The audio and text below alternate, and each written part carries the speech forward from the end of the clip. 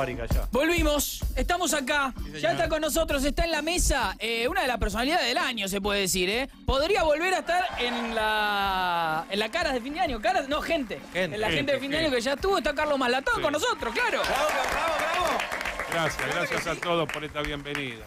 Pero eso de gente fue en el año 1985. Sí. Así que imagínate el tiempo que ha pasado. Eh, ¿En calidad de qué estás en esa etapa de gente? Porque yo hacía política universitaria, teníamos su PAU, fue un bombazo los resultados, entonces gente dijo, este tipo hay que meterlo en la home, digamos, ¿no? Ah, fue en la una... home de esa época. Mirá, Con Bilardo estaba, con, bueno, muy interesante ese, ese año. ¿Eh? qué grande Carlos. Así fue. Carlos, para los que no lo conocen, es hoy en día uno de los representantes del liberalismo, ¿se puede decir? Es correcto. ¿Es correcto? Es correcto, soy liberal ortodoxo. Pero soy político, ¿eh? Soy ¿Sos político? ¿Te definís como político? Eh, bueno, tengo mentalidad política. Yo te sí. quería preguntar algo. Vos tenés mucha. eh, decís que seguís atentamente los acontecimientos, que seguís los acontecimientos. Todo el tiempo. Es algo que a mí me comparto. Mm. Es una de mis motivaciones también. La idea de que sucedan cosas, de que vayan Sí, sucediendo cosas sí. y uno esté en los lugares. Exacto. Pero ¿te ves como actor principal de esos acontecimientos en alguna situación? Más allá de alguien que. Bueno, puedo ser actor en la República Argentina, pero si voy a otro lado del mundo donde hay un quilombo, una guerra, un conflicto, un caos, no, voy para mirar. ¿Pero soñás con ser un actor principal de uno de esos acontecimientos? No, no, soy como, ¿viste el túnel? ¿Sabés lo que fue el túnel del tiempo? No. Bueno, una serie norteamericana de dos tipos que viajaban por el tiempo. Pero iban, miraban y no cambiaban. Ah, sí, Claro, sí, sí. Claro, no. Pero no, no estoy diciendo para atrás. Por ejemplo, eh, Hay un quilombo en el Cairo, Plaza Tahrir del año 2011, cuando lo voltearon a, a Mubarak. Yo estaba ahí, ¿pero qué, qué diablo voy a cambiar? No, Nada, pero digo ¿sabes, todo. ¿sabes a lo que me refiero? Por ejemplo, ser hoy masa. Hoy masa Ah, es, actor cosa, principal bueno, de un pero acontecimiento. Por eso te digo, eso es política argentina. ¿Y te gustaría? Bueno, yo vengo de la política, si se da, se da. ¿Qué- Hago un montón de cosas, no hago solo política ahora. De hecho, no tengo cargo público ni nada. Soy un tipo de los mercados financieros. Ese es el tema. Entonces, Mirá que acá tenemos un tipo de los mercados financieros también, ¿eh? Ah, él, dijo, Sí, sí, sí. él dijo que iba a bajar el dólar. que bajaba el dólar ayer. Claro, porque te explico, en 3.55 es un número que yo calculé hace un año y medio. Cuando valía 70 dije, vamos a 211, que tocó 211, después retrocedemos y vamos a 3.55. Tocamos el jueves de la semana pasada 3.55, ahí viene una corrección, que ahí me da 2.91 o 2.71. Pero va a quedar un tiempo por acá. Yo no veo la voladura esta que están viendo todos. Llegamos a un nivel alcista importante para la relación dólar-peso. Y ¿Vos sentí- tiene que retroceder. ¿Sentís que va a haber estabilidad por un rato? Estabilidad en el sentido de que esta relación de cambio no va, no va a generar nuevos Sí. máximos por un largo tiempo, sí. O sea, va, va a estar como en ese 200 que tuvo durante un, Pero un poco rato más. largo. Un poco más, porque ese, 280. ese- ese de un No, rato largo pero- era 210, 220, 220, claro. Pero no, esto un- creo que un poquito más arriba. 270 decís. 271, a mí Mira. me gusta, sí. Bien, vamos por ahí. ¿Eh? Pero ojo, después alguien escucha y lo malinterpreta. No, la gente no- El lunes no sé si va. va a bajar a 271. Capaz que rebota a 305. Claro, ¿cuánto, cuánto de, de- de certeza? Porque si, si todos supieran cuánto va a estar, serían todos millonarios, ¿no? Eh, ¿Cuánto de certeza hay en, en esos números que...? Eso lo debe juzgar el que escucha, el que hace la predicción. A mí estos dos números, yo te digo 211 y 355 me dieron exactos. Sí. Es más, yo te voy a decir cuándo calculé 211 y cuándo se generó. ¿Hay archivo de eso? Ay, está todo publicado. Todo publicado. Aparte sos, de Twitter. fotografiar, subir. Cuando en abril del año 2018 Sí. el dólar toca 18,75, te repito, abril del 18, Macri, 18,75, yo dije, esto va, a mí me da 211. Sí. No, me daba 211,11. En octubre del 2020 tocó 211. Bien. Después retrocede, descansa y ahí calculo nuevo objetivo. 355 y 535. Y hace seis ruedas, siete ruedas, vimos este número, 355. Bien. Pero yo no digo ahora vamos a 535. Ahora, ahora descansa este tema, porque además me da todo para un descanso. ah, ok. En un contexto de recuperación económica argentina importantísima. Y vos fíjate que por algo aparece más ahora. Muchas veces los acontecimientos de la política son una consecuencia de los procesos económicos y financieros. Sí. Ya sé que casi parece marxista esto, pero no lo es. Es psicologista de mercado lo que yo te estoy diciendo. Vos Así siempre. que lo que yo quiero transmitir es que no veo una catástrofe inmediata en Argentina, sino Mm. todo lo contrario, veo una recuperación. Mira. Vos no ves una colisión. Y los que están negativos se van a clavar. Todo lo que están hablando, ¿no? que Argentina va a un 2001, va a una hiperinflación, ninguna de las dos cosas para mí se va a dar. Ahora, esto es lo que yo pienso, vos decís, ¿de ¿qué, qué grado de certeza? Yo estoy seguro de lo que digo. Me puedo equivocar, por supuesto. ¿Y el año que viene eleccionario no cambia las reglas del mercado? Está todo metido en los precios. Cuando uno hace- análisis de precios con un análisis químicamente puro, sí. está todo incluido. El quién gobierna, quién va a caer, quién se va a morir, lo- eh, el ciclo de los commodities, lo que pasa en el Estado. Está todo metido ahí en los precios. Bien. Por eso el análisis de precios eh, se separa del análisis de los fundamentos. Los fundamentos que son la macroeconomía, la micro, la política, lo- lo- el tema de Ucrania. Está todo metido en el sistema de precios. Como nosotros vemos eh, lo que se llama análisis técnico de los mercados. Y a mí me da Argentina para arriba, no para abajo. Vos alguna vez dijiste, creo que lo de Rebord, eh, que Massa es un superpolítico nacional. Súper político nacional. Y vos fijate cómo, cómo se está manejando, ¿no? Es impresionante. Massa es impresionante. El mejor político que hay. Mejor político que decir no que sea bueno desde el punto de vista del contenido. Sí. El mejor político en cuanto a habilidad, en cuanto a habilidad para, para la actividad. ¿Y ¿no? qué es ser el mejor político, Carlos? Carisma. No, no es eso. El mejor político es un tipo que sabe mantenerse en el poder y que sabe ¿A costa de cualquier cosa? Ah, y que sabe conquistar el poder. Después está el tema moral, que es qué va y qué no va. Después está el tema de la eficiencia, si gobierna bien o no gobierna bien. Ahora, si vos me preguntas cómo le va a ir a Massa, yo creo que le va a ir muy bien en, en este cargo de ministro de Economía, pero muy bien. ¿Sabes por qué? Porque Argentina está en piso y la economía es para arriba, con un poquito de ajuste apenas, sin ir a las grandes cosas, las grandes reformas que hay que hacer, el tipo va a vivir un- lo que llama un bull market argentino. Eso vos lo vaticinaste a partir de octubre del año de- pasado. de octubre, y efectivamente estamos para arriba desde hace casi un año. No está para abajo la economía argentina. Inclusive en estos meses de alta inflación y de corrida Claro, cambiaria, eso. la economía se iba al taco. Me, me voy a poner en, en Fantino eh, a la hora Sí. de preguntar. ¿Cómo es no estar, estar para arriba en la situación en la que nos vemos día a día? para ¿no? arriba. De a pie, la gente de a pie. Estar para arriba es tener alto nivel de actividad, consumo, demanda, demanda laboral. Todo eso existe ahora. Vit- eh, ¿Cuál es tu opinión acerca, viste, que eso dice que sube, que crece el consumo, pero que no crece lo suficiente como para empatarle a la inflación? Entonces existe un crecimiento, pero es un crecimiento eh, medio virtual porque no tiene incidencia real en la vida de las personas. Yo creo que no está debidamente medida la intensidad del consumo que hay en Argentina. Yo creo que los números están mal. Si la gente estuviera perdiendo masivamente contra la inflación, habría un quilombo terrible en el país. Y además no estaría todo lleno como está ahora. Esta noche, por ejemplo, Buenos Aires va a explotar de actividad. Y no, no solamente Buenos Aires, fíjate lo que te reportan de todo el país. Actividad extrema. Lo que te quiero decir con esto es que el país está menos mal de lo que creemos que está. Hay un montón de problemas, y hay pobreza, y hay marginalidad, pero es menos grave de lo que pensamos. Parezco del gobierno, pero no soy del gobierno.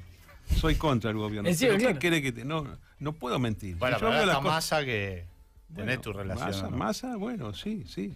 ¿Tu candidatura presidencial está en pie? ¿En pie? En pie, por supuesto. Dependo de que me abran la interna dentro de la libertad de avanza. Mi ley tiene que decir un día, ok, acepto la competencia, yo voy a competir contra él. ¿Con mi ley el vínculo se diluyó? Hace dos meses que no hablo. Se diluyó. ¿Te Lo bloqueó? incluso.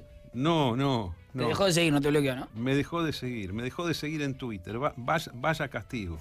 Acá no la, la última comunicación que tengo de WhatsApp con él es 31 de mayo del 2022. Mándale un mensaje. Diciendo, Y la última vez que lo vi es el día 15 de mayo del 2022 que fui a la casa. Y nada más. Y ahí se cortó ¿Y el todo. último diálogo de qué constaba? Si se puede saber. El último diálogo personal. El de WhatsApp, el del... El de WhatsApp le mandé una advertencia con respecto a un viaje que él haría en octubre al Estado de Israel. Le dije que no deje de ir al Museo del Holocausto. Que si no va, va a ser mal visto. porque me había dicho que no, que ya fue al de Argentina. Dije, no tiene nada que ver, es un homenaje. Anda ahí, eso, nada más, una, como una sugerencia. Y te ignoró. Eh, Ah, una- un, Eh, eh, un eh. TripAdvisor fue lo tuyo. en medio de la pelea. eh, Ah, en en medio de la pelea le dije, escúchame, a pesar de las diferencias que tenemos, cuando viajes, anda ahí, nada más, eso fue todo. ¿Y? Te clavó el visto. No hay respuesta. ¿Y fue? No, en octubre. Ah. Creo que va en octubre, supongo. Yo siento que a, a- lo que atraviesa todo lo que haces, sea en los mercados o en la política, está trazado por la diversión. Yo siento que te divertís haciéndolo. Que en algún, y en algún punto también lo que intentás es divertir un poco a todos. ¿Es así? ¿Lo que te mueve es divertirte en última instancia? Bueno, te digo la verdad, Lucas, la vida me resulta muy divertida. Y busco divertirme. Pero bueno, a su vez, las cosas que digo son con seriedad, ¿no? Por supuesto. Lo que acabo de decir sobre economía, finanzas, es lo que realmente pienso, no es una joda que tiro al aire. Y si, ti- si, si te doy un número, porque lo calculé Claro. según mi método, que puede estar equivocado, o el método o mi cálculo. Pero esto es lo que realmente siento y lo que realmente pienso. Pero no sos amigo de lo solemne. No, anti, igual que vos. igual que vos, vos también. bueno. Sí, sí, anti-solemnidad. La No, cosa- no. Es que a mí ya si algo me divierte, medio que está legitimado. Ya estoy, estoy ahí. Carlos, y si te. vos, la, la pregunta de si te llama Román, ¿y si te llama Massa? Ahora. Si me llama más, le digo, ¿a dónde querés que vaya? ¿A dónde? ¿A dónde no, irías? No, no, no, no. Le digo, ¿querés hablar conmigo? ¿Dónde nos encontramos? ¿En tu oficina? ¿En la Cámara de Diputados? ¿En la Casa de Gobierno? ¿Dónde querés? ¿Agarrarías Voy. algo? No, no, Nada. no, no, no. Seguramente me va a preguntar cómo lo veo. Pero cargo, me dice, che, ¿querés un cargo? No, no voy a ningún cargo, no. Nada. No puedo yo ir a un cargo público. ¿Por qué? ¿Por qué? Porque primero que tengo un montón de actividad que me impide ir al cargo público. Pero además de Actividad laboral tuya. Laboral mía, laboral mía. Pero además de eso, no está bien que yo sea funcionario público. No está bien. Atentaría contra tus. Sí, viste, queda, parezco como, como que estoy garroñando un cargo. No, no, no. Aparte siempre marcás como que jugás con ventaja en relación a los que sí tienen un cargo porque lo ves desde el costado del camino. Bueno, tengo una libertad enorme para hacer un montón de cosas. Viajar, por Imaginate- ejemplo. Imagínate que yo voy a un bar. Ahora, a mí me gusta el champán francés. Sí. Me pido uno, 100 lucas, vale. Voy a decir, mirá, malatón tomando con la plata del Estado. Bueno, Claro. no, nada, olvídate, esa mía. Ah, ok. ok. claro. Y esa No bala mezclar. la sentirías lógica si alguien te dice eso estando en el Estado. Eh, depende del origen de los fondos. Imagínate que el- un sueldo público no te permite viajar por el mundo. Pero al mismo tiempo de querés ser forma legal. presidente. Bueno, eso es otra cosa. Ah, Porque ahí está legitimado por el voto. Una cosa es un cargo ejecutivo nombrado y otra cosa es algo electivo. Bien. Yo estoy dispuesto a ir a un cargo electivo. Yo tuve un solo cargo público que fue electivo, que fue del 87 al 91, legislador de la Ciudad de Buenos Aires, concejal en esa época. Sí. Gané la interna del partido, estuve en la lista y fui votado por el pueblo. 87. Al 91. Al 91. ¿eh? Estaba- Hiperinflación. y agarré la hiperinflación que me pareció algo fabuloso. Ahora vamos a hablar del tema. Pero, ¿qué pasa? Después, obviamente, que el sistema te ofrece, che, ¿no querés una dirección general, una secretaría, un ministerio? Claro, porque es como que los que llegan al poder, medio que. Van surfeando. Claro. Querés- es como que te querés quedar en el Estado con un ingreso importante y con ciertos privilegios y cierto Yo dije, no. Y nunca más tuve un cargo público. Es el único que tuve en mi vida, electivo. Para mí es muy importante que sea electivo, porque si no queda como un acomodo. Ahora, alguien lo tiene que hacer igual, no estoy condenando el que es funcionario. Entonces yo sigo con esta política. Ahora, una, yo tampoco sería diputado, por ejemplo, ahora ni concejal, ni senador, ni nada. ¿entendés? El único cargo que yo podría competir para él es presidencia de la nación. Ahora, si vos me decís que hay un presidente eh, con el cual me identifico y me dices, Sí. por favor, Mato, necesito que cubras esta área, vemos. Si es un área que yo conozco y que me siento idóneo, le puedo llegar a decir que sí por la patria. Pero ¿Cuándo? no, Hoy pero- no. No, no, hoy no. Pero, pero, pero además te cuento.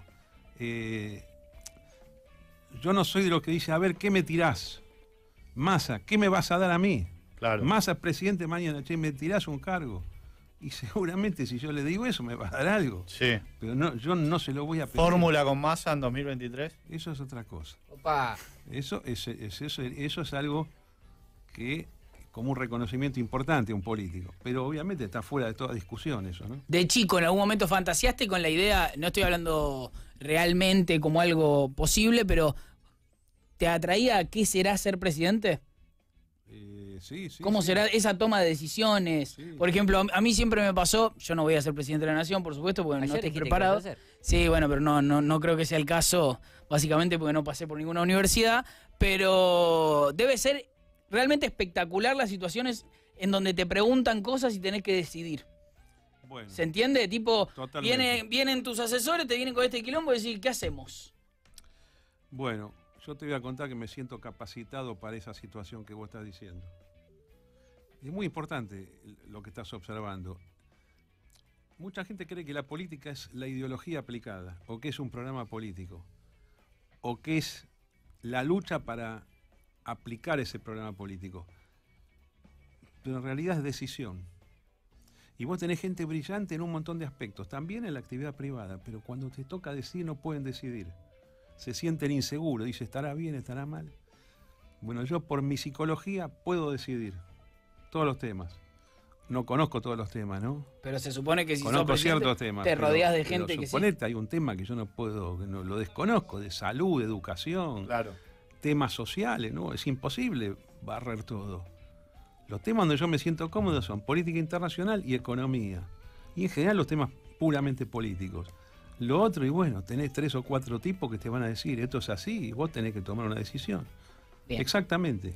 Te saco un segundo del eje político. Eh, fuera de él, recién nos, nos decías que te gustaba mucho viajar, que había estado en muchos lugares del mundo. Eh, dame tu top 3 de ciudades ¿Para visitar o para vivir? para visitar. Nueva York, es en América, Sí. Nueva York es imprescindible. Bien. Jerusalén, Mira, Tokio, Japón. ¿Cuántas veces es. fuiste a Nueva York? 50 más o menos. Uh, terrible. Ese es el problema. Como viajo mucho al mismo lugar, no puedo cubrir los. Me, me resulta casi imposible cubrir los 193 países del mundo. ¿Vos querés eso? Lo ¿Cuántos son? Cu- 193. No, no, hasta ahora, los que tenés. 82. Es un montón igual. Es Pedirle po- a, una cancillería el año que viene.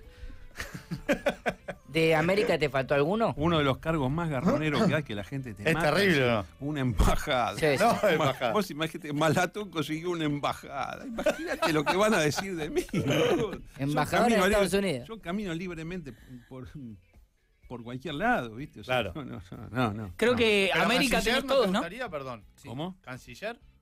Eh, Que es- es yo- un gran no, cargo, No, no, ¿no? pero no es para mí. Porque una cosa es que te guste la política internacional y otra cosa es la gestión de las relaciones exteriores. Vos para Cancillería necesitas un tipo que sepa gestionar embajadas, los, los placés, los protocolos, las formas. Eso es para un, para un super experto. Bien. Para mí, ¿no? Como yo lo veo. Y yo no veo mal que una Cancillería sea ocupada por un tipo de carrera diplomática. Bien. ¿eh? De- No, no, eso, de América se había estado en todos. América estuve. A, ver si, a ver si hacemos el conteo. Argentina, Uruguay, Chile. Sí, sí. Bolivia, Sí. Perú, Brasil. bien. Ecuador, Colombia, Venezuela. Guyana, Surinam, Guayana Francesa. O sea, ahí está todo. Bien. Centroamérica, Panamá, Costa Rica, Honduras, Salvador, Guatemala, Belice. Tuviste en Todo. todos. México, Estados Unidos.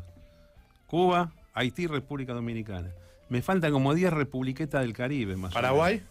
Sí. También, Paraguay. Canadá. Fa- Canadá faltaba. también. Me falta Canadá. No, Mirá. Toronto es una gran ciudad, Carlos, ¿eh? Y ya lo sé, pero ¿qué quiere que le Ah, haga? es difícil, es difícil. Fui No, 50 pero veces a Nueva York. 50 como veces a Nueva York y no me- fuiste- ¿Por qué no me tomé un tren, aunque sea para Claro. decir toqué Canadá?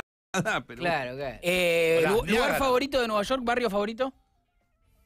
Sí, sí, sí. ¿Qué quiere que le haga? Pero me gusta todo. Artísticamente me gusta mucho también Midtown, porque es todo Art Deco. Claro, que yo vivo en el. Cabana, que es un edificio Art Deco típico de Midtown de, los- de- de la ciudad de Nueva York.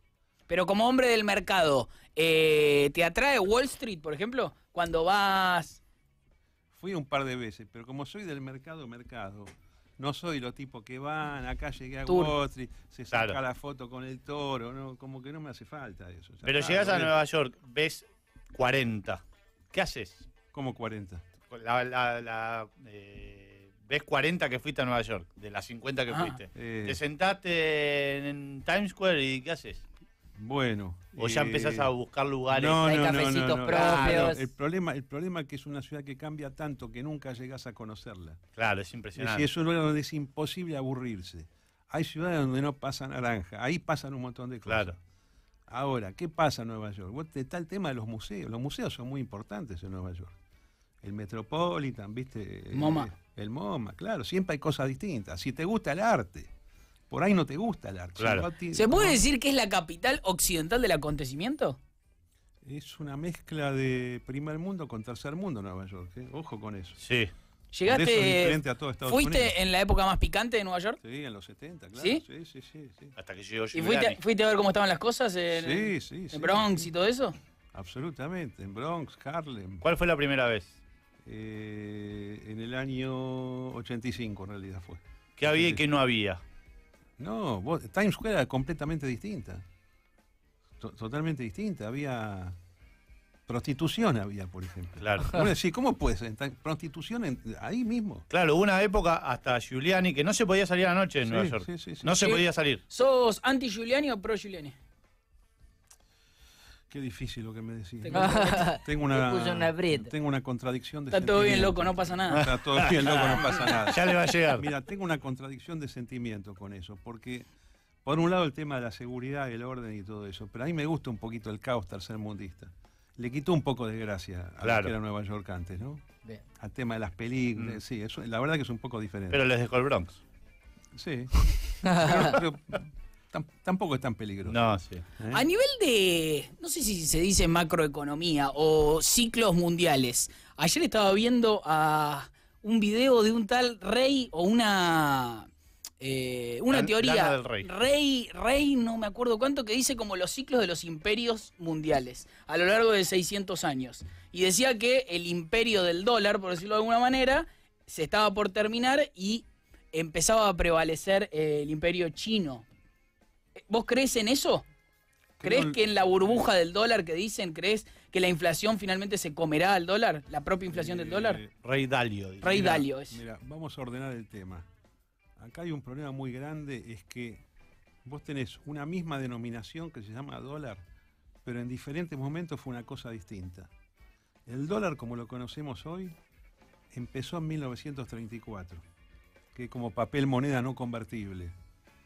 Y en realidad casi te podría decir que empezó en 1971 y recién empieza. Y la verdad que lo que ha demostrado, a pesar de que es una moneda que se infla, que se imprime, que se fabrica, como ellos consiguieron por el Tratado de Bretton Woods después, durante la Segunda Guerra Mundial al final, y como premio a haber liberado al mundo del fascismo y del nazismo y del imperio japonés, imponer una moneda que ellos la imprimen como quieren y todos la demandamos. Al demandarla le estamos dando un tremendo valor, le estamos dejando a los Estados Unidos financiar lo que quieren con falsificación monetaria y con su sistema bancario que es anexo a esos dólares de papel que nosotros conocemos. Y la verdad es que a pesar de un montón de augurios de que va a morir pronto y la hiperinflación, eso no, no sucede. Es más, eh, en los últimos meses Igualó al euro. el dólar se apreció 30%. Oiga, El problema del mundo ahora es que es muy fuerte el dólar. Y vos de repente escuchás gente que dice, no, el dólar es una porquería, se va a acabar. Pero, loco, mos- mostrámelo Claro. en la realidad. Pero no es, no es fuertísimo. ficticiamente fuerte por la impresión. No sé, te pregunto. No, es, es- es muy fuerte porque las demás son más débiles. Y además es una moneda que flota. El precio no lo pone Estados Unidos. Las principales relaciones de cambio del mundo son euro-dólar, dólar-yen, dólar libra esterlina y dólar franco suizo. Esas- esas- esos cinco pares de monedas son lo que te- los que te gobiernan en lo que se llama el mundo forex. Pero el dólar está fuertísimo. Ahora, ¿esto cómo funciona en materia de ciclo? Pues hablemos de- de- del, tema, del tema ciclos. Eh, parecería ser que los ciclos de la moneda duran 13 años. 13 años para un lado, 13 años para otro. Lo poco que tenemos, porque la moneda fiduciaria de papel es nueva, no, tiene un siglo to- todavía. Entonces es probable que ahora estemos empezando muy a poco un ciclo antidólar. Si te lo digo en términos de euros, no te lo voy a decir en términos de dólar index, que es una canasta de moneda, porque la gente no sabe eso. Pero sí seguramente todos recuerdan, o los que tienen más de 30 años, que hace 20 años vos comprabas un euro con 82 centavos de dólar. Sí. Y en el año 2008 necesitaste un 1,60 dólares para comprar un euro. Hoy necesitas 1,02 apenas. Y, es y, hace un- y hace dos semanas tocó 0,9960. Y es probable que estemos iniciando un ciclo de reversión de esta fortaleza del dólar. Y que si nos vemos aquí en Vorterix dentro de cinco años, eso vale 1,34. Claro. Pero yo creo que el mundo eh, está para que convivan las monedas de papel con sus sistemas bancarios de multiplicación secundaria del dinero, junto con el mundo Bitcoin, ¿no? Claro. Del que Lucas es fanático. Es otro tema, claro. Hay gol de Godoy Cruz, Carlos. Te aviso porque Cruz, lo, cantamos. Necesito preguntar una Propongo- pavada, una pavada Sí. antes del corte. Antes del corte, porque Ah, quiero hacer, dije el gol de Cruz. quiero hacer corte y entrar en la pavada total, Listo, hace- no, no, entonces abro con la pavada. Abre- abro con la pavada. El Abrís el bloque, próximo sí, con la sí, pavada. sí. Entonces vamos, ¿te quedás? ¿Te tenés que ir algo? No, ¿Cómo voy a ir? Perfecto. No, ya está. No, no sabía, Vamos a no, te quiero robar el tiempo. Te quedás hasta el final por mí. ¿Te quedas hasta el final? Obviamente que sí. Claro, ¡Claro! ¡Carlos! Salvo que ustedes quieran que, que me, que me raspen, ¿no? No, Carlos, por favor. el mundo Acá estoy. Por favor. Prioridad también quería- absoluta ¿Eh? del viernes a la Yo también quería preguntar. Yo quería un poco de ¿eh? Bitcoin. pero Ah, bueno, ahora, bueno, ¿quieren preguntar Bitcoin antes No, de irnos? no, mandala, mandala. Vamos a escuchar a Josefina Arenas haciendo ningún secreto. Eh, viene y Carlos nos va a decir cuánto está el Bitcoin en una semana.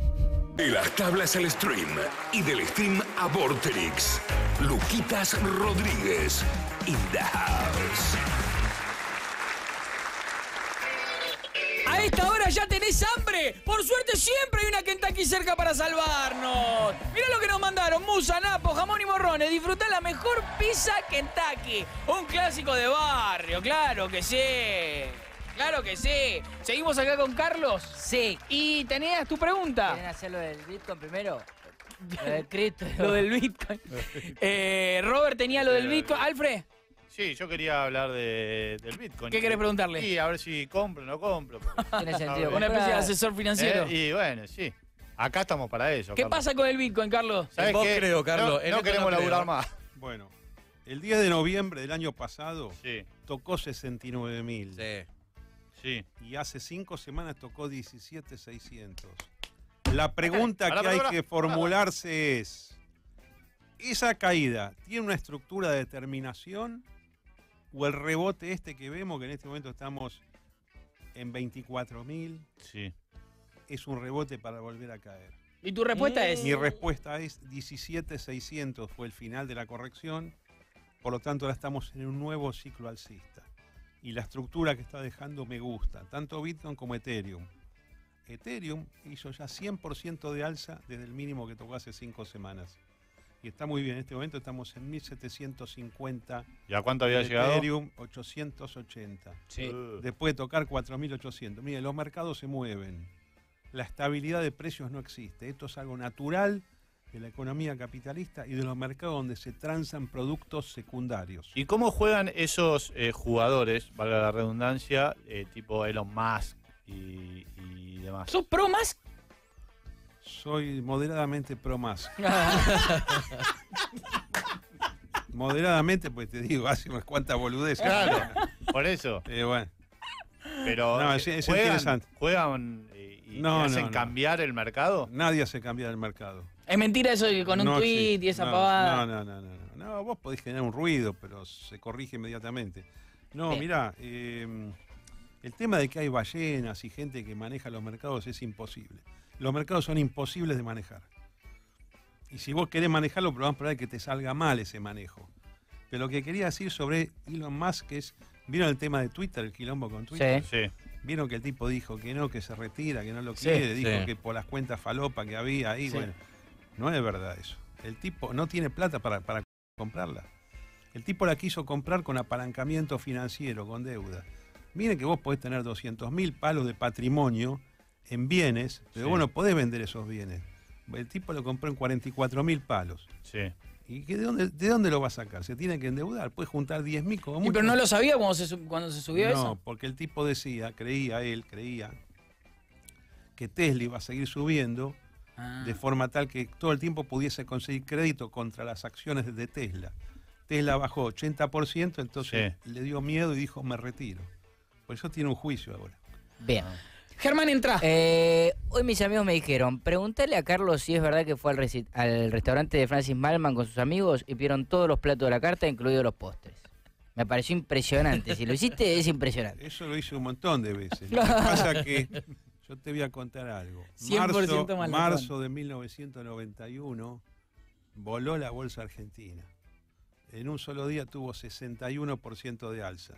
Al día siguiente el anuncio de la convertibilidad. Y yo estaba no comprado, recontra comprado y con palanca, con opciones. El día anterior jugó en Boca River en el Monumental y ahí yo me enteré escuchando la radio, porque no había móvil en esa Nada. época, del plan de convertibilidad. Yo digo, esto es fabuloso, mañana voy a la bolsa. Entonces me estalló el cerebro por la cantidad de guita juntada en pocas horas.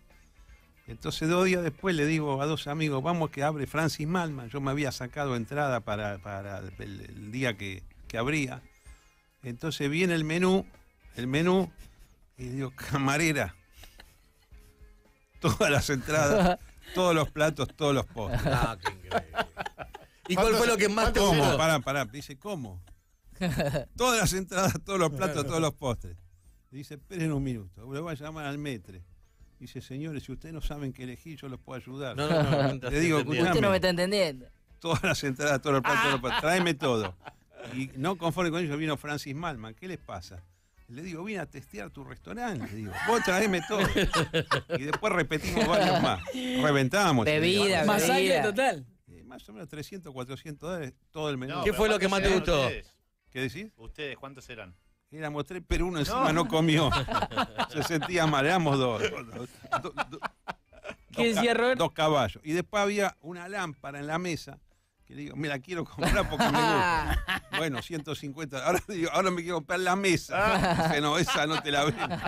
Y lo hiciste más veces eso encima. Un montón de veces. ¿Sabes la cantidad de veces que yo fui y dije, todos los platos, todas las entradas. ¿Cuál es el mejor restaurante de Buenos Aires? Mercado de Liniers, de Dante Lipolache.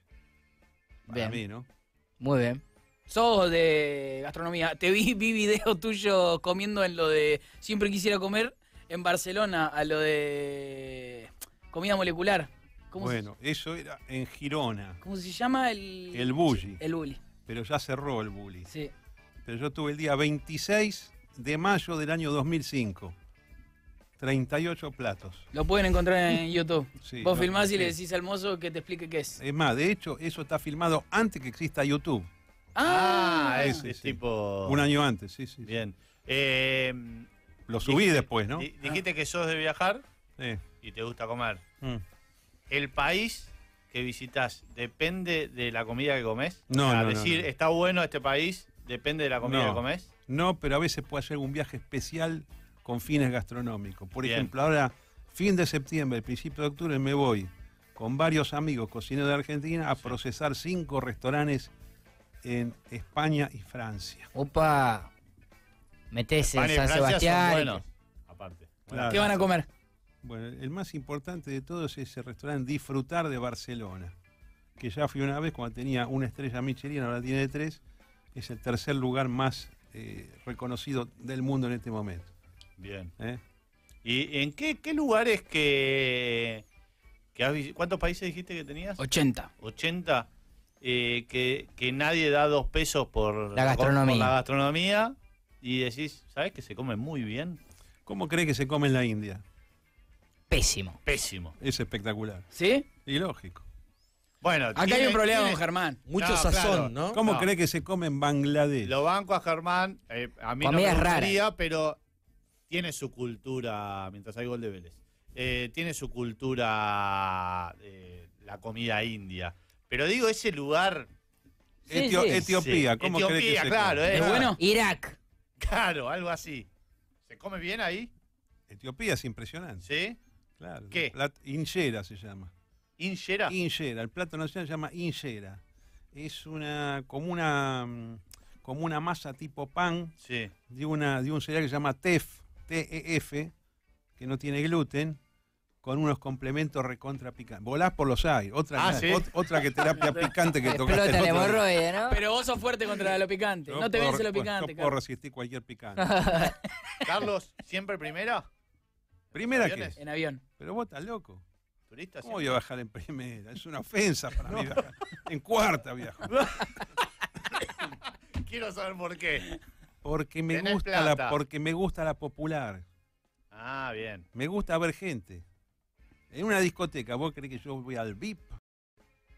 ¿Dónde se ve gente? En el boliche, Y- normal. Y, bueno, por eso. No, no, olvídate. Ah, mirá. Sí, sí. Pero Siempre- viajaste alguna vez en primera. Hace poco un amigo se mandó una joda y me upgradeó él. Entonces Ah. yo entro y dice, usted tiene primera. ¿Cómo primera? Yo saqué cuarta. Yo saqué en el baño. Entonces tipo, el tipo como, como para que quede un registro. ¿no? Qué No, va. pero no, no, no. Ah, sí. Alguna vez, alguna línea me dijo, señor, usted te- ah, está upgradeado. Quiero entrar tanto, el perdón. tópico montañas rusas, Carlos. Ah, montaña rusa. ¿Te gustan las montañas rusas? fanático. Fanático. Podría vivir eternamente arriba de una montaña rusa. Roller, roller coaster. Sí. El único problema... ¿Cuál es la mejor montaña rusa del mundo? Algunas de las que están en Busch Garden. Busch Garden. Uh, esas son sí. terribles. O sea, hay varias espectaculares. Tampa. Tampa. ¿Cuál es el, claro. el- el viaje idea- ideal a Orlando, Disney? ¿Cuántos días es? Tres días. Para mí, tres, ¿Tres días. días? Tres, tres días está bien, sí. ¿Sí? ¿Y dónde vas? Eh, Parque de la Aventura y después... eh, ¿Cómo se llama este Universal. otro? ¿Eh? Universal. Y Universal, claro, exacto. Pero... Pero es un quilombo ahora. Yo iba hace 30 años, más o menos podía subir a las cosas. Hoy ni siquiera con el pase rápido. No, este, sí, el fast pass. este, al final puedes estar en 4 o 5 lugares por día. Sí. Es, un, es un sufrimiento. O te la pasás haciendo cola. Es pe- pura cola. Sí. Entonces, viste, no es igual que antes. Bien. Decepción. En, en Tampa sí, ¿eh? En Tampa sí. En El Tampa que estuve hace un año en la montaña rusa y entraba rápido. ¿Y cuál fue la montaña rusa más peligrosa en la que tuviste? La de Little Park. No, no. Peligrosa es porque. No, peligrosa de riesgo de vida. Vos sabés que yo, como estudié la facultad de Derecho, Sí. Yo iba a turno, en los años 80 iba a turno 7 y media de la mañana, 10 y media. Y salía de la facultad y me iba solo al Ital Park, Uh. al, al- al llamado Super 8 volante. Sí, Super 8 volante que se, Ahora, se quedaba sí. arriba. Se Si quedaba. al Park, ¿cómo seguís yendo a la montaña rusa? ¿Por qué? Y en el Eh. Pasó uno volando. No, pero no volvió era más. montaña rusa, ¿eh? Era Era el otro. Matterhorn. Eh, No. Matterhorn. ¿No te da miedo? No, Carlos, no subas más ahí. No, subas más ahí. Yo miedo no, te- no- no- nunca tengo miedo, olvídate. Ah, no hay miedo. A mí jamás me puede pasar nada. ¿Está bien eso? Nunca. pero es- Sos eso- inmortal, Carlos. Claro, es O estás en la búsqueda. Indestructible, invencible, inmortal. Indestructible. Highlander. No me va a eh, pasar nada. En tu canal de YouTube tenés un video tirándote en paracaídas. Sí, Espectacular también. sí, el lobo. Muy contento estás. Sí, sí, sí. Ah, luego se tiran, ¿no? Sí, pero es fácil el paracaídas. ¿Cómo fácil? ¿Ustedes se han tirado en paracaídas? Nunca me No. No, no. no. El gracias. problema con el paracaídas. Yo que miro vos- por el balcón es- y ya me asusto, Bueno, Carlos. pero ¿sabés lo que pasa con el paracaídas? Vos creés que vas a sentir la caída libre y dura 15 segundos. Ah, 15 porque segundos. Se abre el paracaídas. 30 segundos, nada más. ¿Pero te gustó? Pero además, como estás a 3.000 metros, el colchón de aire Te no te hace sentir que es una... Sí, sentís más el vértigo en una montaña rusa que en una... ¿En serio me decís? exactamente.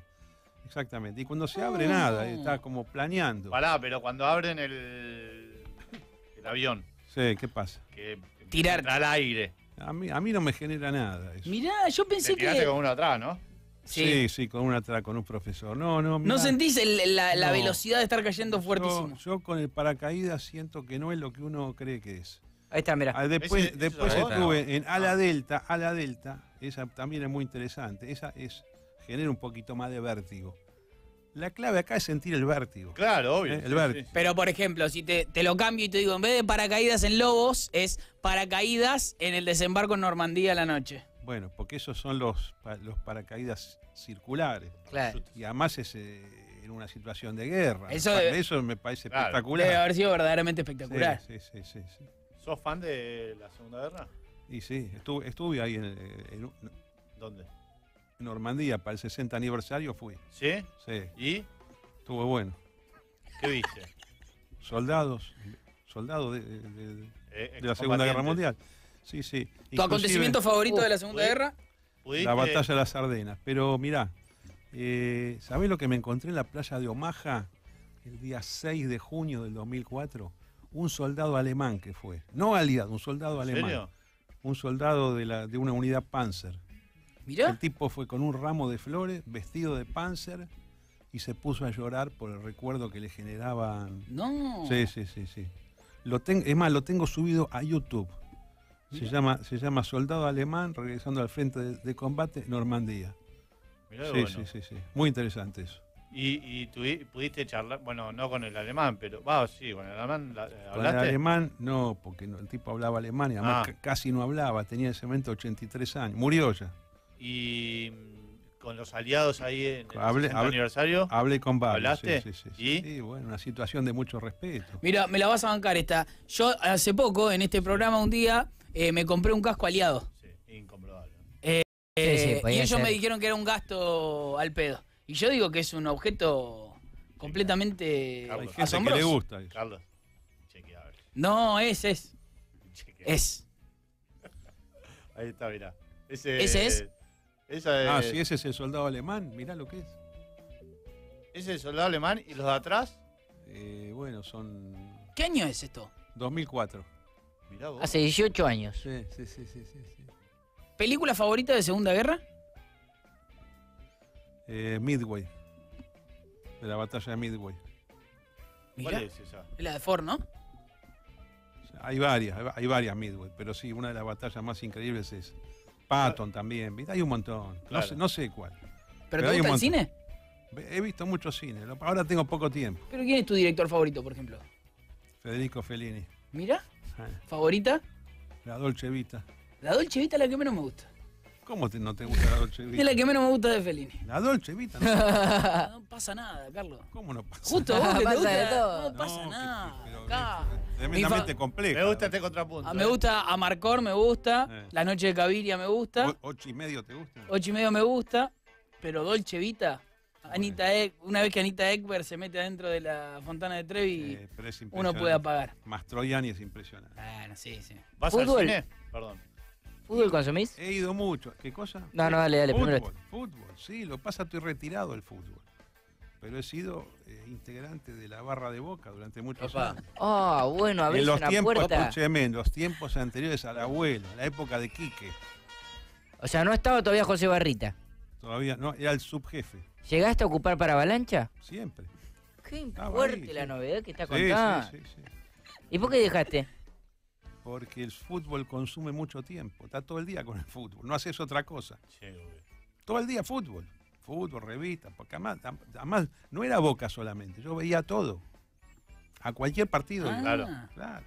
Una vez que te comprometés con las actividades. Exacto, exacto. Bueno, pero ¿cuándo Pero- arrancaste a ir a, a la cancha? Y, ¿Cómo fue y ascendiendo? cómo, cómo- cómo fuiste subiendo escalas tercera línea, segunda línea, Quique? No, uno iba en esa época. Te metías Sí. ahí con. Con los muchachos. Claro. Exacto. ¿Ídolo máximo de Boca? Ratín. No lo vieron ustedes, pero No, bueno. no, no. Sabés que fue el 5 banderín, el fue el cinco de la 66. selección argentina, todo eso. Sí. No, Gatti no, no la también, mejor Gatti. selección argentina de la historia, pero, pero bien. Era El- buenísima, la de 66 era Sí. buenísima. Bueno, Se Lo que pasa es que tocó Inglaterra, lamentablemente. Ganamos este año, ¿no? ¿Sí? Ganamos. ¿cómo la ves? Messi, ¿cómo te cae? Me cae excelente. Bien. ¿Te cae bien Messi? Pero me cae excelente, pero viste que dice Messi, Maradona, ¿sabés lo que yo contesto, no? A ver. Eh, Los dos, Claro. lógico. ¿Quién son? Muy bien. aparte, claro, eh, eh, ¿por qué ponerse en esa situación, no? Claro, los dos, son dos genios. Pará, eh, contaste algo, lo- bueno, no sé si lo contaba, tampoco es ¿Qué tan cosa? grave. Tenés 36 entradas para. No. Mundial. Sí, sí, sí, sí. Tengo- O sea, ni Infantino va a ir a 36 partidos. no, no, no, no. Tengo 36 entradas diferentes para 36 partidos de Qatar 2022. Claro. ¿Con quién vas? Solo, ¿con quién voy a ir? Por favor, tenemos Vamos a que, encontrarnos tenemos que allá. encontrarnos Vamos a allá. comer. Llevarnos a comer a algún lugar rico. Es inevitable que nos encontremos cada uno de nosotros con 5.000 conocidos. Y Claro, sí, sí. es cierto. 5.000, ¿eh? Seguro. por favor, Pero, va a ser ey, espectacular. 36 es un montón. 36 es muchísimo, Carlos. A Tengo la comer final, un, tengo un. ¿Eh? Que nos lleve a comer un bifito. Un bifito. ¿Fuiste ya a. Qatar alguna vez? No. Te lleva todo No, picante. Qatar no. Sumo un, país, sumo un país más, Qatar. ¿No, Bien. ¿No fuiste a Qatar? No. Es ahora. Por eso ahora sumo Qatar, Oman y Bahrein. Ah, todo, pero todo en el mismo viaje. Y lógico. ¿Cómo es, eh, cómo lleva Mariquita tu pasión por el viaje de esa manera? Por ejemplo, uh, Mariquita es su esposa. Sí. eh, ¿Hubo discusión por el Mundial? ¿Me voy a ver 36 partidos del Mundial? Dijo, pero ¿cómo vas a ir a ver todo el mundial? ¿Y qué quiere que haga? Que lo vea cortado, no lo voy a cortar, o, o todo o nada. ¿Qué voy a hacer? Eh, otra cosa que tenés filmada en tu canal de YouTube es tu mismísimo casamiento. Lo filmé, sí, yo mismo. ¿Año? Ah, vos en primera persona. Sí, En el civil. ¿Una sí, selfie? Sí, sí, no selfie. Una auto, ¿Año? Autofilma, 2008. Yo iba con una cámara. Con una común, con una de 3 megapíxeles. megapíxeles. Es espectacular. La- en ese momento te- eh, no lo sé porque no los conozco, pero advierto a la familia de Mariquita como diciendo. está ¿Qué le pasa a este señor? ¿Qué está haciendo? Siempre, personaje? Siempre, siempre me han visto como, como un elemento extraño. En general, la gente me ve como algo. ¿Qué hace? ¿Qué hace mirá cómo te miran. Ahí se mira, ahí se hablan. Cómo te miran. ¿Está, está filmando o está de la votación en la Cámara de Representantes de Washington del paquete de ayuda para superar Ahí Pleno están crack diciendo- financiero. es. Ahí están diciendo, mirá, mirá, mirá con qué se casa Mariquita. Mirá lo que está filmando. en esta misma fecha, 10 de octubre. Esta es la sala de sesiones de registro civil. La abogada que los casa es amigo, ¿no? Amiga. No, no era mío. Ah, pero se cae en un momento. Se, se enganchó. Contrato matrimonial Contrato de matrimonial. acuerdo al orden público argentino. Mariquita del Vecchio. Yo tengo una pregunta. Carlos, sos muy gracioso, Carlos, pero a vos, ¿qué es lo que te divierte? ¿Qué es lo que te Muy buena pregunta. A mí me divierte el quilombo. Pero ¿qué, qué, qué ves cuando te querés divertir? ¿Qué consumís para, para reírte? No, ¿Consumís algo o te, te- te divierte algo random? ¿Qué, Es decir, qué- qué significa consumir? y ¿Qué te lleva a la algo, risa? claro, ver algo. No, ¿Te gusta no, algún no. comediante? ¿Te, ha- ¿Hay alguna No, cuenta no, que no, te haga no, reír? no, escúchame, yo lo que hago es seguir minuto a minuto, horas Sí. tras horas, si querés, los acontecimientos del mundo. Y me río solo de las cosas que veo, porque las cosas que suceden son increíbles.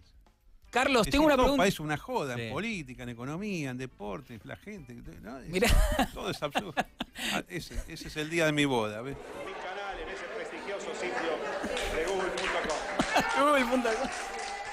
Empezaba Google ahí, ¿te das cuenta? Tengo una pregunta para hacerte, que es, eh, yo me siento muy identificado con la idea de, de seguir los acontecimientos, de que sucedan cosas. A veces llego acá a la radio y le digo a Germano Alfred, contame algo, ¿qué, qué, qué pasó? Que pase algo. La idea de que pase algo es mi movilización. Llega un momento de, de depender tanto de los acontecimientos que no sentís eh, ese vacío, no sentís la, la velocidad, no te volvés adicto al acontecimiento. Puede ser, pero siempre pasa algo. Siempre encontrás algo que pasa. Siempre pasa No, algo. ah, no hay días que no pasa nada, Pero Carlos. escúchame, y si no pasa algo, están los mercados financieros. Ustedes se dan cuenta que Bitcoin opera 24 horas, 365 días. Eso para vos fue como. Y claro, porque antes yo estaba acostumbrado al mercado de valores, abre 10, 9 y media, de la hora- 9 y media a 4 y media. 9 y media a 5, ¿entendés? Y, nada, después fin de semana nada. Pero desde que está cripto, todo el tiempo. Además está todo el- toda la vida social. Claro, la La vida, vida, social mía es gigantesca. es ¿De qué consta? Eso, Cenas. eso, Ver eso. gente, básicamente ver gente, hablar con gente. Si, si hay un casamiento, te invitan a un casamiento, ¿bailás? No, Ahí a un costadito. al costado. Por ahí, Analizando. por ahí bailo 15 minutos. ¿Usás la vida social para la rosca Sí, por supuesto. permanente? Cuando, eh, para el tema político, claro Sí. que sí, por supuesto. Sí, ¿Y te apasiona eso? no, ¿No? no. Cero. Tema técnico. Pero whiskycito, una y media de la mañana, casamiento. Y te encontrás mm. con uno que decís. mm, a Te encontrás con a- randazo. A, este le saco algo. Randazo. No tomo whisky, obviamente. Bueno. A ver, sí. Shampoo, un champucito, un champucito. sí, Champucito francés. ¿Vino? No, tampoco. Agua mineral, agua, agua So- gasificada. soda, soda y, Soda. y a- Champucito francés. Una, una a soda, veces champán. una soda con randazo. Anda. ¿Y, y- y te dedicas a la rosca ahí? No, o- sí, sí, seguro que ¿Cuántos sí. presidentes conociste? Qué bueno programa de una soda con randazo. un programa. qué sé yo, por ahí, a- creo que a todos los conocí. No. Sí, me parece que alguna vez los vi a todos. En un acto público, por ejemplo, una cosa así. No, pero me Ah, refiero a. hablar en- hablar te en dijeron persona. Carlos, Raúl Alfonsín, Raúl Alfonsín, Carlos. Claro. Sí, así, eso sí, a eso, a eso, a eso hablamos, sí. Me parece que a todos, alguna vez los saludé a todos. Eh, Carlos Saúl Menem, ¿era tan apasionante como, como lo vemos? Sí, y muy divertido además. ¿Sí? Sí, sí, ¿Tenés genio. anécdotas con él? Así No, de- estuve en un par de actos con él que hablé yo, sí, sí, no, bien, bien. ¿Sí? bien. Menem, bien. El mejor, pues. ¿Sí? Sí, claro, para mí sí, por ideología. Para mí también, Carlos. Para vos, Yo lo banco morir. qué raro. ¿Por qué? Pensé que era medio zurdito. Con la barba, ¿no? La barba te dio mala espina. Lo veo como un tipo, viste, medio. de- Nah. pensé que era medio zurdo. Medio- te vio Con medio, Carlos de la- a, a- a morir. A medio morir con trotskista, Carlos. te veo. ¿Qué pasa? ¿Qué te, qué te genera cuando de tu, de tu propio sector te señalan como un peronista infiltrado? Manga de gorilas, hijo de puta, ¿cuál es el problema? Yo soy un liberal amigo del movimiento nacional justicialista, anti-gorila. Hay dos corrientes históricas en el liberalismo conservadorismo. Una que odia al peronismo, cree que hay que matar a todos, y otro Sí. que dice, no, esto es parte de la realidad social y política argentina. O sea, Tenemos Álvaro que conciliar. Y eso no. Álvaro Sogaray en los últimos años no fue gorila, para nada. Adelina D'Alessio de Viola. No era gorila. Ningún político puede ser gorila. Tiene lógica, ¿no? ¿Por qué? ¿Porque trabaja con la gente? Porque vos tenés que conciliar con un partido tan importante como el Partido Ah, Justicialista. No te podés Claro. permitir serlo. decís. Y luego, ¿qué voy a decir? Los quiero matar a todos, es una cosa ridícula. Además, yo creo que el peronismo hizo cosas buenísimas. En lo social. Me voy a meter en la gastronomía otra vez. Eh, y contaste al, al vuelo eh, la tapa esa de gente Sí. que estuviste con Bilardo. Y tengo el dato de que eh, vos no dejás que los mozos te sirvan la bebida. Exactamente. ¿Por? Yo- porque es Eso es muy bilardista. ¿Cómo sabes eso? ¿Lo dijo Bilardo? Es muy bilardista. Bueno, no lo copié de Bilardo. Sí. Pero el problema es que los vasos vienen necesariamente sucios. Tiene dos problemas los vasos. Uno, el enjuagado. En general, el enjuagado está mal hecho. Porque le meten detergente y le hace- le hacen una enjuagada a medias. Y yo descubrí muy de niño, con la soda, sirviendo soda en el vaso, que se generaban pompas de jabón y dijo, este es un detergente pegado que al entrar en contacto con la soda me genera La burbuja. La burbuja. Entonces yo digo, esto yo Me no, están no estafando. me sirve. Además, además he visto en varios lugares cómo lavan los vasos. Una vez yo estaba en Hard Rock acá en Buenos Aires. Me siento en la barra y veo que hay como una bacha, una pileta. Ah, sí. Y yo veo que traían los vasos de, la, de los cócteles, de las mesas, y un pibe los ponía ahí, hacía así, Y volvía. y ya está lavado. No le dije nada, ¿viste? Pero digo, yo me muero con una cosa así. O sea, estoy consumiendo jabón con, con- con- con azúcar. Estoy consumiendo detergente con azúcar. Después si me pide un cóctel. Y otra cosa más. Aunque lo laven bien, siempre hay un boludo que lo agarra de acá, Sí. con los dedos. No es que yo creo que me va a generar enfermedad ni nada de eso, ¿eh? Simplemente me parece roñoso. Pero al no permitir que el mozo lo haga, ¿Qué haces el, el vaso puede ser sucio igual a la mesa. Lo que pasa es que yo hago varias cosas. Primero, si es una botella, no un sifón, yo lo tomo del pico. En- Ah. en- inclusive en un restaurante de primer nivel. En un restaurante importante. Y si no sabés lo que hago, si realmente quedo mal, porque estoy con un tipo que se va a horrorizar y todo, igual, i- igual lo hago, pero agarro, le meto un poco acá de agua al vaso, lo hago así y lo tiro por, por- por- Ah. claro. Entonces ya como me queda lavado. Ah, o sea, le pones tu agua, Claro. Lo limpias un poquito. Exactamente. Entonces ya que hay ese, ese- eso, eso como la prueba de que no hay detergente no, no enjuagado, ¿entendés? Hacemos el Muy último corte y venimos Muy con el ping-pong. Hacemos corte y venimos con el ping-pong a Carlos Malatón. Vamos a escuchar a El Lagarto haciendo No Voy a Abandonar. Qué programa, por favor. Y del stream a Vorterix, Luquitas Rodríguez, in the house. Le contamos a la gente que Alfredo Montes de Oca estuvo entre agarrar una pizza de Kentucky, ir al baño, Sí, quedarse sí, sí. acá.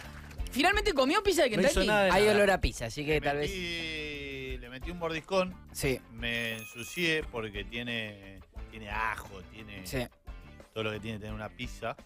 Y cuando estaba yendo al baño me dijeron volvemos. Y bueno, ¿No tenés estamos. servilletas? ¿Querés, querés un pañuelito? Y no, ya está, ya está. Me limpié en el pantalón. ¿Hacemos el ping-pong? Dale. Se viene el ping-pong a Carlos Malatón totalmente arbitrario y sin sentido, Carlos. Pero le voy a pedir que, que justifique un poco. Que no lo haga tan, tan corto. Empieza con sushi o asado. Sushi basado, ¿qué eso? Yo soy pro sushi, sí, ¿cuál es el tema? Eh, ¿Tenés que elegir uno? No. ¿De dónde? ¿Entre sushi o asado? Ah, sushi o asado. Sí. No, sushi, olvídate. ¿Sí? Pero hay Pero como por cierto supuesto. desprecio al asado ahí, Eh, no soy tan pro asado. yo. ¿no? Nunca voy y pido asado. Si no es otra cosa, como carne, pero si no, casi no como. ¿El mejor carne. lugar para comer sushi en Argentina? Osaka. ¿Y el mejor lugar para comer carne en Argentina? Don Julio. Germán. Baratito. Em, No es tan caro. Sí, por favor. Nunca fui a Don Julio. no, es Osaka es carísimo, es, es inaccesible, es inaccesible. Osaka es verdaderamente riquísimo. ¿Y es caro, Lucas? Osaka Es caro. Osaka es caro, pero Don Julio caro. Don Julio, Ah. caro. Don Julio Pero carísimo. Discúlpame, a ver, ¿por qué no vemos precios? ¿Cuánto es caro para vos? Ca- eh, todo, todo lo que haya que pagar. No, no, no, no, no, damos Ahora que precio. te No, vamos a decirlo, vamos a ¿cuánto es decirlo. Un bife debe estar O sea, 5 mil pesos. eso, un ojo de bife debe estar Un 5 ojo de mil pesos. bife. Sí, Sí, pero el si problema yo es tengo que gastar, si yo, perdón, Carlos, si yo tengo que gastar eh, para mí solo, ¿eh? Yo, mi persona, 5 lucas para comer es caro. Y vale, sí. Para, solamente el bife. Está bien, pero escúcheme, ustedes Bueno, tienen en cuenta que Don Julio no soy de- no, no, no No soy, soy- Su, no soy su representante ni su promotor comercial. Vos pedís un, un pedazo de carne y comen tres personas, ¿saben ustedes eso? Don Julio, si yo vivía a la vuelta, ¿no? Pero son las porciones son enormes. Guarda con eso también. ¿eh? Guarda con Don Julio. ¿Qué opina de todo? Bueno, sí, Pero un bife vale 5 lucas, Carlos. Por, por más que lo dividamos en tres personas, 2 lucas cada uno al bife, también Va a me estar la papa frita y el servicio Perdón, de ¿eh? mesa de 2 millones de pesos. Pero bueno. 15 Llegas a tomar vino y son 5 No, millones de no, pesos. yo no gano en dólares, 15 Carlos. dólares. Pero no gano en dólares, Carlos. Eh, una banda de rock argentino. Redondo. Muy bien. Sí, Carla. Carlos, ¿sos millonario? Opero en el mercado y vivo bien. Jamín. ¿Dólar o Nu- Ethereum? ¿Número querés que te tire? Si no, eso no se puede. ¿Sos hacer. millonario? No, no, no. A ver, ¿cuál es la otra? ¿Dólar o Ethereum? No, no, Ethereum. ¿Moscú o Mar del Plata? Moscú, Unión Soviética. Sí, Carla. Yo Pará. también. Yo sé que en Bien, las dos. Aclaralo bien, Ni aclará eso. bien la pregunta. Ni eso. Eh, no, para, Para veranear, veranear pero no, 15 sí, yo años igual seguidos. Veranear, yo no 15 veraneo. años seguidos. eh, me imaginaba. No, ¿cómo voy a veranear? No, no va de vacaciones vos. Va- Odio las vacaciones. Viajo, que es una cosa distinta. ¿Cómo es de vacaciones? Procesar los Pelotudo. lugares. Claro. Pero preferís que Moscú. Pero por supuesto, es una cosa también. tremendamente compleja, puro arte, pura historia. Mar del Plata es un lindo lugar también, ojo. ¿eh? Lucas. Eh, la mía, yo sé que va a ser que sí, pero Carlos, ¿te gustaría ir a la luna? ¿Cómo hago para ir? No, no, yo te pongo todas las seguridades pertinentes. No quiero seguridad, estoy dispuesto a correr el riesgo. Bien. Si califico para ir a la Luna, voy a la Luna. Y si califico para ir a Marte, voy a Marte. Bien. Y si califico para salir del sistema solar, salgo del sistema solar. Y si me dice Malatón, viajás en el tiempo, viajo en el tiempo. Bien, todo. No tengo las todo. posibilidades de hacerlo, pero lo quisiera hacer, claro. Generalmente, te digo, yo también, eh, Moscú, Mar del Plata, elijo Moscú, ir a la luna me parece algo espectacular, porque fantaseo con eh, llegar a un lugar que no llegó nadie. Eso me parece realmente espectacular, pero generalmente la gente no tiene esa, no tiene, la gente no quiere ir a la luna, Carlos. No quiere a la Luna. La- El 80% de las personas que pasan por acá te dicen cosas como... Es que hay tantas cosas para hacer en este mundo que ir a la luna. ¿Querés que te diga una cosa? La gente no entiende nada. ¿Cómo no vas a ir a la Luna? Eh, capital del mundo más sobrevalorada.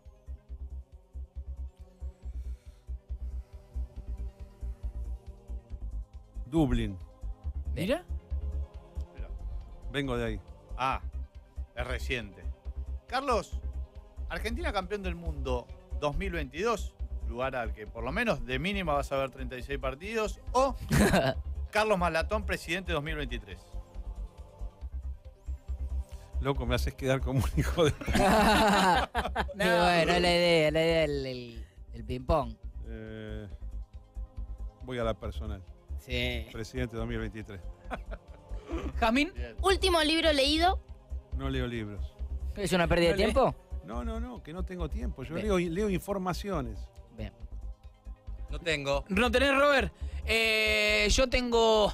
¿Con quién te, del mundo, de la historia, podés elegir una, una personalidad con la que te tomás un café, pero te abre la puerta? No es un café de alguien que medio te esconde información o te dice, pero hasta ahí. ¿Quién de la historia querés que te abra la puerta para conocer verdaderamente lo que piensa y lo que opina sobre los temas? José Stalin. ¿Qué pregunta le harías? Tema de la Segunda Guerra Mundial. El político En, argentino. en realidad sí, en realidad le decía, contame cómo lo mataste a Trotsky. Claro. Ese tema. Sí, ¿Cómo decidiste matarlo a Trotsky? Muy buena pregunta. El político argentino más tóxico de los últimos 30 años. Macri. Yo voy con preguntas eh, eh, uno u otro y te voy a preguntar, ¿Cristina o Massa? No, no, más absolutamente. Bien. ¿Navidad o Año Nuevo? Yo soy judío, así que eh, me abstengo de participar en forma directa. Adhiero a la Navidad de mis amigos cristianos. Año Nuevo para mí es irrelevante, no hago nada. ¿Cómo te llevas con la tradición judía? No, excelente. ¿Vas? Hago lo que se me da la gana, pero excelente. ¿No respetás eh, las fechas y eso? Eh, yo me considero autoridad final de, de la, de la tradición judía, por lo tanto hago las cosas como a mí se me dan la gana. Bien. Pero sí, si vos querés saber formalmente, el día del perdón, Yom Kippur, voy al templo y hago ayuno. Bien. Bien. ¿El sexo es una pérdida de tiempo? ¿El sexo? ¿Cómo va a ser una pérdida de tiempo? Es una pregunta. ¿Pero quién dijo eso? Muchísima gente lo aprueba acá en este sé, programa. Una manga de demente. Pero para, te la reconfiguro. tiempo. Eh, ¿Está sobrevalorado el sexo? No, está infravalorado. ¿Cómo? ¿Infravalorado? Pero por supuesto. Pero sí hay una cultura del sexo en el mundo. No, pero como me decís que hay gente que le parece una pérdida de tiempo, ¿no? Hace poco dijiste que ibas a escribir un libro de la prostitución. Sí, la teoría general de la prostitución, ¿Cómo es el gaterío y el dinero. sí. Oh, ¿Cómo es? Pero Buen es nombre, ¿eh? Jacob, Teoría general de la prostitución, el gaterío y el dinero. ¿Y de qué, Explicando un montón de y cosas. de de- qué consta? Bueno, son teorías. ¿por qué existe la prostitución? ¿Por qué existe el gaterío, básicamente? Y qué es una cosa y qué es otra, ¿no? No- ¿Da para libro, Carlos, eso? Y desde el punto de vista económico, como yo lo encararía, sí. Bien. ¿Jamín? Teoría conspirativa que elegís creer. Sí, muy buena. Y desarrolle, ¿eh? Eh, Hitler en Argentina. sí. Yo la creo esa. Lady Yo- Di. Eh, yo- no, Lady Di, bueno, creo que, creo que es probable que haya sido un asesinato inducido, pero o, o- o- o un accidente eh, provocado, pero el tema de Hitler yo siempre dije que no, que era imposible, pero en los últimos años la verdad que casi que cambié de opinión. ¿Qué te llevó a cambiar de opinión? Eh, parece que hay mucha gente que lo vio. ¿Sí? Viste que Ese hay es el problema. eh, testimonios hay. ¿Cómo decidís qué es verdad y qué no es verdad en la historia? ¿Cuánto valen los testimonios? Y uno elige creer también, ¿no? Mucha gente dice que lo vio en varios lugares. Para mí es la cantidad de testimonios lo que lo acerca a la validación. Mm, ese es el tema. Es como los ovnis. El otro tema son los platos voladores, Claro. justamente. Sos pro que antes era un tema de loquitos. Yo no era uno de esos, pero los gobiernos están reconociendo que era cierto esto, ¿no? Así Pero que- viste que se dice que los ovnis, eh, antes había muchos más testimonios y que con la llegada del celular y demás, que está a la mano de todos, desaparecieron esos testimonios. No, pero si cada vez hay más, ¿cómo? No, no, que Cada vos vez podés- hay más registros. Que vos podés grabar una luz que pasa y es una, Bueno, es pero, una luz mala. pero la gente experta dirá si es algo mal interpretado o no. Claro. Sencillita. ¿Quién mató a Kennedy, Carlos? El que, el que se vio que formalmente... el- No, ya sé. ya sé. sí, eh, pero no, eso, eh, la verdad que La CIA. no, no puede ser. No puede ser la CIA. ¿Viste la película JFK? La de Sí, la vi, la vi. Yo sí. creo en esa teoría. Me cuesta creer que vos puedas eh, llevar a cabo una decisión de esa naturaleza en forma clandestina dentro del Estado norteamericano. ¿Cuál es el primer diario o portal de noticias que lees cuando te levantás? Eh, Al Jazeera. Porque yo veo, pues ¿sabés por qué? Porque sigo. eh, Al Jazeera es la- el, el- el medio Sí, de. la el cadena multimedio, árabe. El sí, multimedio de. Qatar. Lo que pasa es que yo sigo, yo sigo mucho los temas árabes, los temas del Medio Oriente y ahora el tema de Ucrania. ¿Por su influencia en el resto del mundo? No, ¿O porque por tiene- lo que te porque interesa tiene- no, no, no, porque me interesa, me interesa mucho la, la política internacional. Eh, Al Jazeera, a pesar de que, de que suele, suele tener tendencia en cuanto a opiniones y presentación de las noticias, las cosas que dice sucedieron. Claro. No hay fake. Bien. ¿Mm? Bien. Carlos, ¿matar o morir? Matar.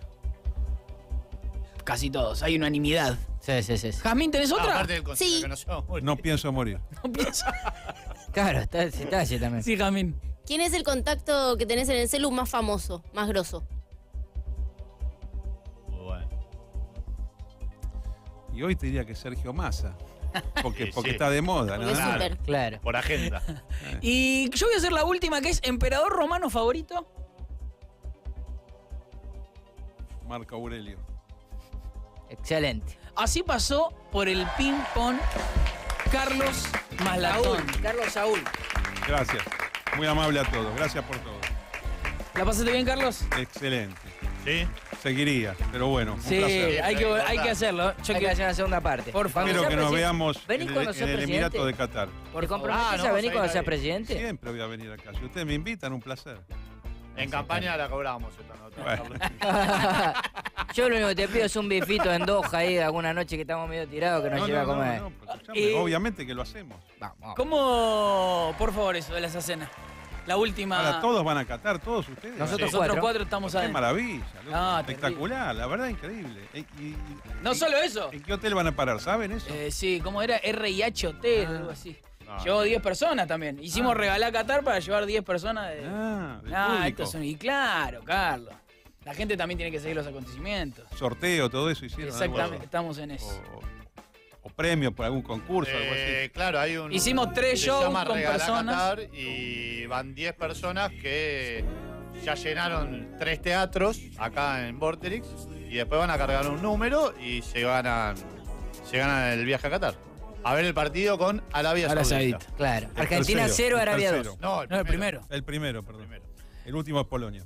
Gracias, Carlos, por venir. Bueno. Felicidades. Gracias, Borteric. Gracias. Gracias, Lucas. Gracias a ustedes. Nos vemos el lunes, señores y señores. Terminó para en la mano.